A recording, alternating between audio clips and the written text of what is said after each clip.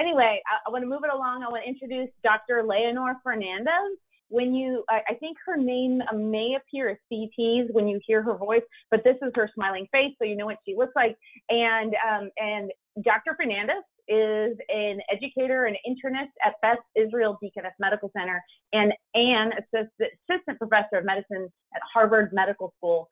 Her clinical work, research, and leadership work is focused on patient centered care and health equity. And then in partnership with Open Notes, her work is focused on helping patients from all backgrounds use Open Notes to communicate more clearly with clinicians and be empowered and meaningfully engaged in healthcare.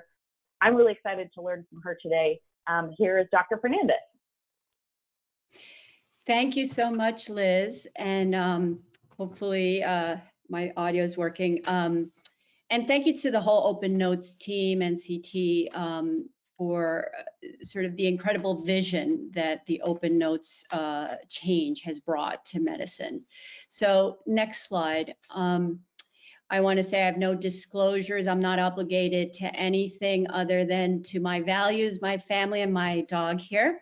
And I also want to direct the audience that there's a good uh, webinar that you can watch with my colleagues, Jared, Jeremy, and Steve. And some of what we're talking about today builds upon that. And here are some of their references that I think are really, really useful. So please watch that. So building upon what CT said, you know, we all know that the traditional role for notes was to convey information to others on the care team and, and to ourselves to remind ourselves what, what, what took place. And I also think there's a big point about it notes, writing notes, actually helping clinicians kind of consolidate their thinking, this metacognition concept. And in fact, there'll often be times that as I write my note, I realize, oh gosh, I forgot about the TSH and telling her to do this. And I also might as I make more clear my argument for why I'm doing what I'm doing, uh, refine in some way my diagnostic thinking. Um, it also establishes a reviewable record um, and increasingly for quality purposes and of course for legal purposes. And now the next one, which we don't love, which is that it also provides evidence of service for billing.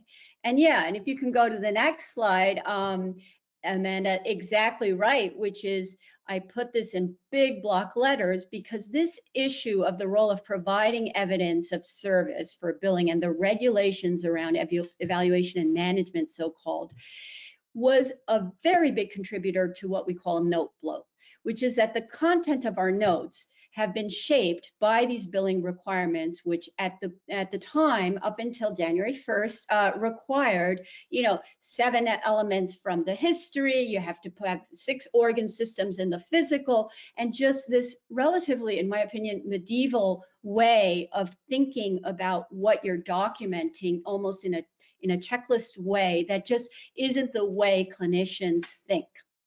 And it really kind of obscured and, and contributed to note bloat. It obscured the clarity of notes.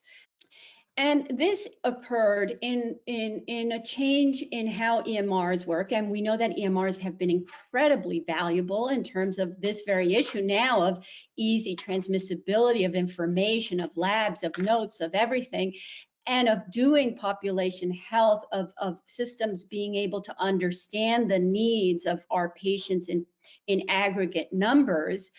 Um, but it also has created an en enormous administrative burden and pr uh, a proportion of our time now attached to documentation and the computer that has created a, a, a resentment almost and sometimes a lack of alignment between uh, what clinicians are most interested in doing and what what they are doing and also a lack of alignment, as you'll see, between what clinicians are doing and what their patients need. So uh, Gawande, by the way, points this out in ways that are just so beautiful to read in the New Yorker, so I recommend that here. Next one. So going back to dogs, whom I love, um, I love dogs because they are present in the moment um, and they care about things that matter. And that's, I think, part of what we all love about them. And I think that in our best days, we wish that we as clinicians could be that. So what I most love and why I went into medicine is to care and uh, for and about and with patients um, and to think about science and how that relates to my communication process, to think about differential and analytics about uh, what is causing something, um, and management. But what we're finding now in the next slide of the atlas of our current brain is instead of being occupied with that, sometimes while we're writing notes and even while we're present with the patient, there's a lot going on that distracts a little bit from the process. So they uh, i'm thinking about my population health checklist. Did i close the gaps? Let me put in this smart phrase one. Was it smart phrase seven? And and let me import half my last note because i need to for these documentation requirements. And did i list all of the ones i have to they're going to audit me. And if i don't finish this now then i have to do it home. And then i'll have to do it after the kids go to sleep. And then i'm really tired. I can't remember half of what we talked about and this is not unfamiliar uh, to many of you, uh, at least to me in primary care. Um, so if we can go to the next one. So I think part of this came from that distortion I was saying that luckily to some degree, I think we've been liberated from by the, the old requirements are here on the left and the new requirements that instead of focusing on all these elements really are gonna hinge on the complexity of decision making or the time we spend with the patient. Um, and maybe this is an opportunity for that alignment between what patients need and what we need. So next slide. So the, what patients need and what Open Notes has successfully demonstrated very clearly is that notes reinforce patients' understanding and can increase their sense of control over their health and enable patients to play an important part in this quality loop with wonderful uh, work by um, Sigall Bell in our in, in, our in our group. Um, also, it we see a lot of signals that it enhances the relationship between clinician and patient particularly when there may be elements of uh, of difficulty with trust. This may be particularly important to do by that transparency. I also going back to metacognition i think that the fact that we know that there's a chance that our patients will read our notes may improve our own ability and tendency to consider the patient's perspective more actively because we're thinking about that in the narrative and therefore we may think about it more in our plans. So next slide. We all know about the so-called SOAP note, which refers to putting the subjective, what the patient has said or, or brought to the visit first, objective, the physical exam or vital signs, etc., and then the assessment and plan. And there's been some move to maybe since the assessment and plan is kind of the nitty gritty of what's going to happen and the integral of what took place to move that up at the top. So those are called APSO notes um, I think as we debate these things, um, I think we should be thinking, as CT does very actively all the time, what ways could the EMR be designed in ways that will make notes more helpful to all of us, including patients who clearly are the audience as well now, and part of what we should design for. So next slide.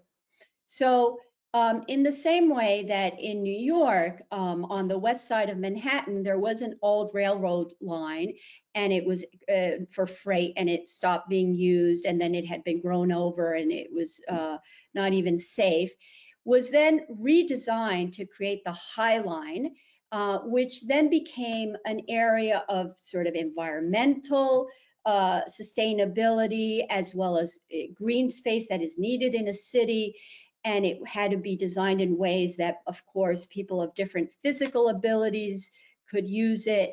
And so all these advantages that come and many uses that can come from something where intention is put into diverse function. Okay, so the same way, next slide, we could think about our notes and how we can redesign them and maybe have um, an explication of things so that I don't have to spend my time writing out shortness of breath even though I should instead of SOB, but rather that the, the, the, the, EMR knows how to do that as it does in some systems, or that it can take CHF and say congestive heart failure and also have a hyperlink to explain that to patients um, in, in, in, meaningful uh, lay language. So uh, this slide is to show that we know that systems can change dramatically when they need to. So this shows a slide of how overnight, literally, our system at Beth Israel Deaconess had to change so that uh, because of COVID, so that we could deliver telehealth after March 13th. And the green is the percent of visits that were now telehealth, mostly telephone at the beginning, and now increasingly video. So when we align the fact that it was necessary for public health, that that's the only way we'll take care of our patients and that's the only way we'll get paid, then the system can innovate. So it's about aligning incentives in addition to how we express it to leadership. So, um, however, we learned other things about uh, ourselves when we did this. And new slide. So uh, next slide, sorry. Um, this is a slide by my colleague, my wonderful colleague, Jorge Rodriguez, who did uh, a study in the partner system, MGB system, um, and found, uh, it's a complicated slide, but just to summarize, uh, showing access to video visits. And this shows on the top that patients who were white had much more likelihood of getting a, a, of actually accessing a video visit and having a video visit than patients who were black say or hispanic or other you see them listed there the same when you looked at issues of language that the Spanish speakers um, in Boston here had the the lowest rate of being able to access it. And then um, in terms of age, that older patients had less uh, access. And we know from other studies that also this runs along uh, income because of issues of digital access and digital literacy. Now, why do I raise this? Because this is a perfect signal and marker to us regarding what we need to think about in order to have these notes be of use to the wide universe of our patients.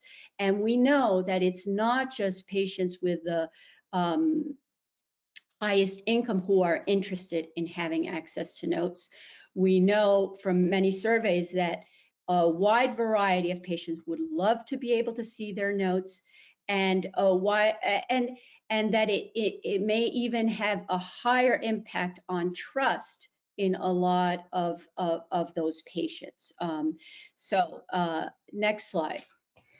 Um, so we know that digital equity requires action. We need to be building intentionally with design for marginalized populations. We need to systematically offer not just clinicians, but the system needs to offer to every patient. We need to support them so they can do this. And that is a whole nother talk we can have another time. And we need to track and identify the disparities actively. So when you measure them, you can address them. Um, and this is a great resource from Courtney Lyles. Um, next slide.